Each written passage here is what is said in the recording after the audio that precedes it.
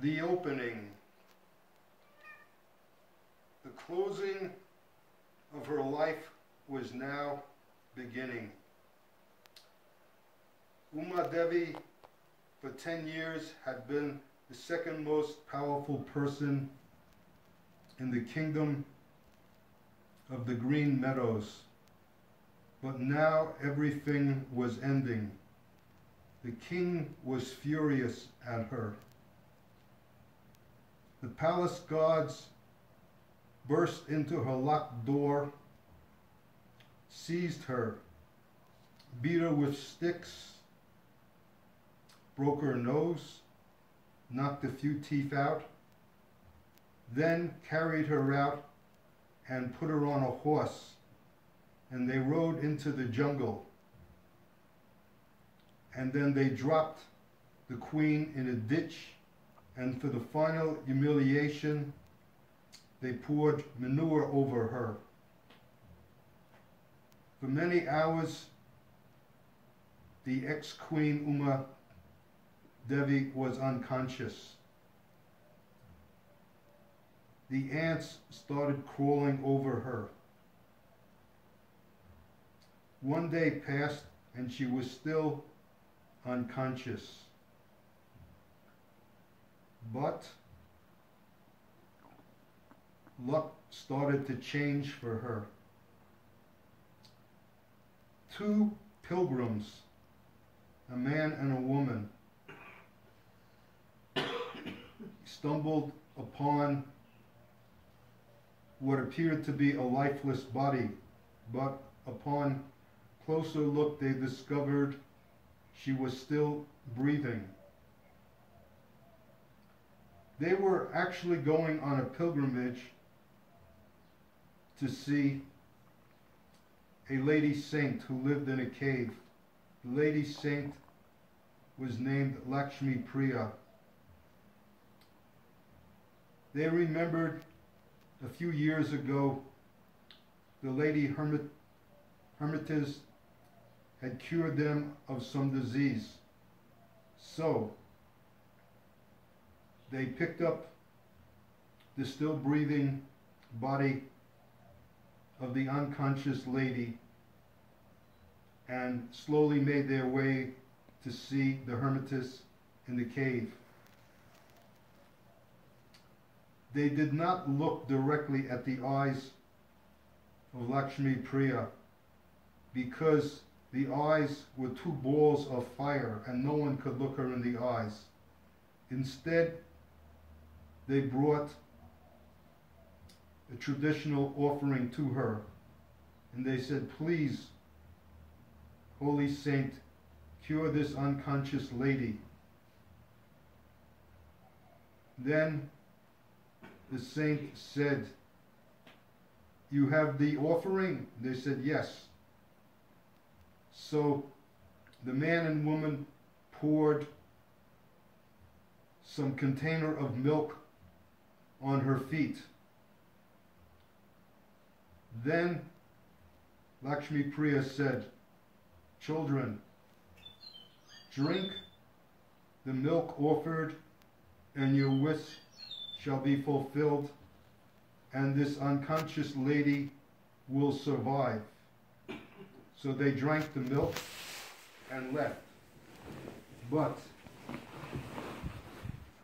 Uma Devi was still unconscious. The next day, Uma Devi woke up and said, Where am I? And the old lady saint said, You're in my cave, child. You now belong to me. Then the ex-queen said, Why did they beat me? Why has all this happened to me? I never did anything wrong. For ten years I was a good wife to the king. The only thing I did not succeed in was I did not bring any children into birth. Then Lakshmi Priya said, Child, that's not the real reason which caused you to be beaten severely by the palace guards. Lakshmi Priya then put her hand on the chest of Uma Devi, and all of a sudden, Uma Devi had a vision. She saw herself as a young teenage princess in another kingdom, in the kingdom of the Blue Mountain. And one afternoon, an old lady came to the palace and was just begging for alms. And this young teenage girl said, Get away, you lazy lady. We don't want any beggars here. But the lady saint persisted in begging for alms. Then the teenage princess told the palace guards, Beat her and throw her away. Get her out of the palace. I don't want her ever to come into the kingdom of the Blue Mountain. And so they beat Lakshmi Priya. But Lakshmi Priya smiled all along during the beating and thought, there will be karma between me and this teenage girl. Things have to be resolved.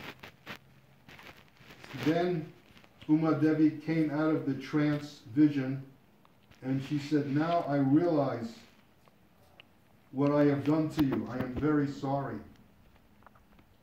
And Lakshmi Priya said, That was one reason. Then the apparent outward reason was the king was afraid because you did not produce any royal offspring, neighboring kingdoms would have to uh, invade him, and because of that, he raised taxes to have a bigger army to defend his kingdom, and the people were not happy. But that's all the past. This you should forget. You cannot go back to the kingdom now. Instead, you will live with me and I will train you. And so the old lady saint began a process of training the exiled ex-queen. She said, now, in the evening, you get up at midnight and you concentrate on the full moon. Try not to close your eyes. Just look and look. And so the ex-queen Uma Devi did this for a month. Then the old lady hermit said, Now, in the daytime, you look at the flying birds and you feel you are flying out of your head. Feel you are ascending above the body, and you do this for one month. And she mastered this process for one month. Then the old lady saint said, You burn a fire. And she burned the fire in the cave and said, You look into the flames. And she concentrated on looking into the flames. And all of a sudden, she felt a fire within her third eye. Meanwhile, the king decided to remarry.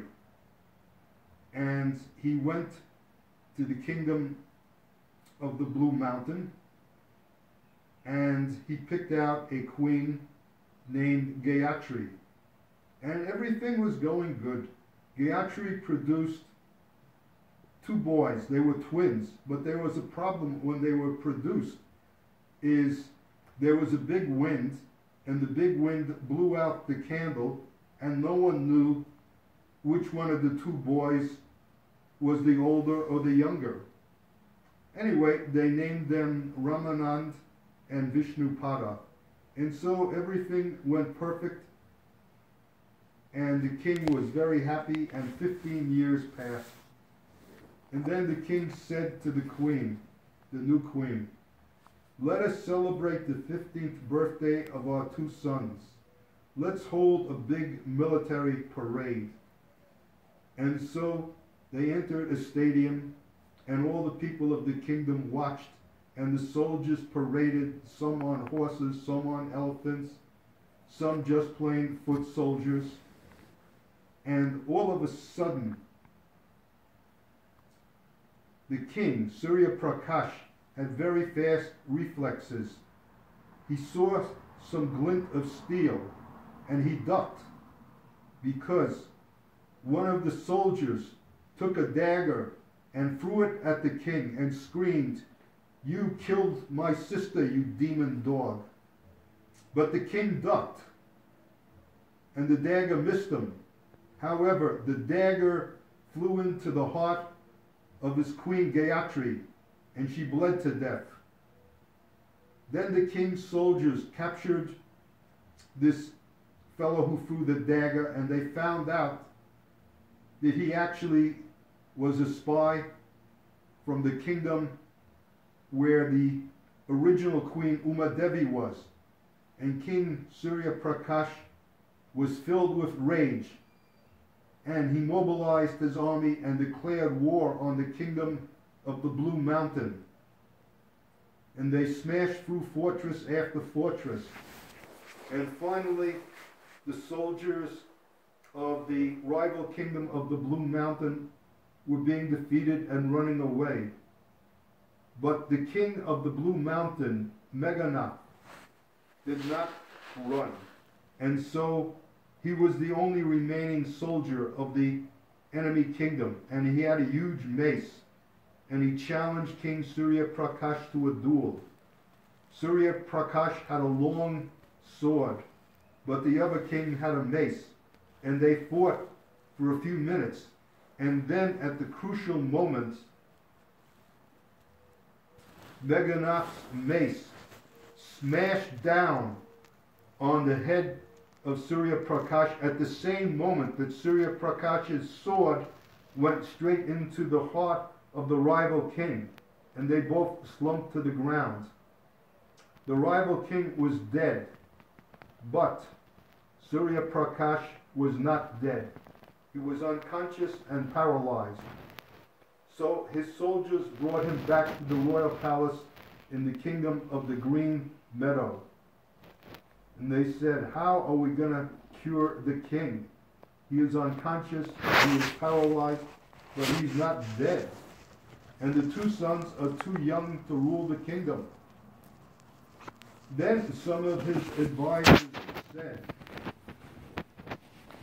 We think 35 miles from here, there is an old hermitess. She cures people, but she demands milk. Let us go immediately to the cave and get the aid of this hermitess. Since time had passed, the old hermitess, Lakshmi Priya, had died, but she transmitted her spiritual powers to Uma Devi, and Uma Devi now took the role of the hermitage saint. So, the king's messengers finally, after one day of hard riding, came into the cave and they brought milk with them. And they poured it on the feet of Uma Devi. And she said, Child, children, I will bless you. What do you want? And they said, come to the royal palace immediately because our king is unconscious and paralyzed. You must heal him. And Uma Devi said, Are you sure you want me to come?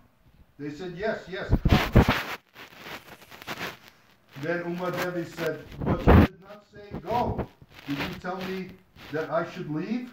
They said, No, we want you to come. Then she said, Do you want me to stay forever? And they said, Yes, yes, stay forever. And she said, Are you sure you don't want me to go? They said, No, you must come and stay forever. She said, Okay, under that condition, your wish shall be fulfilled. And Uma Devi came to the palace. She took a look at the king she recognized the king, but the king's eyes were closed because he was unconscious. And she started to say some mantras. Om Hrim Hum Swaha. Om Hrim Hum Mahadevi Swaha. And gradually, the king opened up his eyes and he regained consciousness. But he could not look Uma Devi, who was now in the guise of a lady hermit, he could not look her in the eyes because the eyes were full of fire. So he said, You have healed me, but I need guidance. I have no wife. My wife was murdered. You have to look after Ramanand and Vishnupada. You have to train these two boys. Then she said, Do you want me to stay? Do you want me to go? He said, No, no, you stay. You stay in the palace. You train my two sons. And she agreed. She taught them politics. She taught them economic policy. She taught them military training. Basically, she taught them everything under the sun. And this went on for five years. And the king grew old, and just as he was dying, he had one thought. I wonder where my first wife was. Maybe I was too harsh on her. Is she dead? Is she alive? Who is this lady saint? Could this lady saint be? Could she be Uma Devi? I don't know. And so he died, and he never knew the mystery of the lady saint. Then the lady saint said to the two children, Ramanand, you will rule over this kingdom, the kingdom of the Blue Mountain. And Vishnupada, you will go to the kingdom of the, wait, made a mistake. Ramanand, you will rule over this kingdom, the kingdom of the Green Meadow, and Vishnupada, you will go to the kingdom of the Blue Mountain and you will both rule as allies. And so they did. So Uma Devi was very happy. She had achieved her mission and she was detached. She had forgiven the king and she continued to give advice to both the kings. So her life was complete because she had achieved spiritual opening. That's it.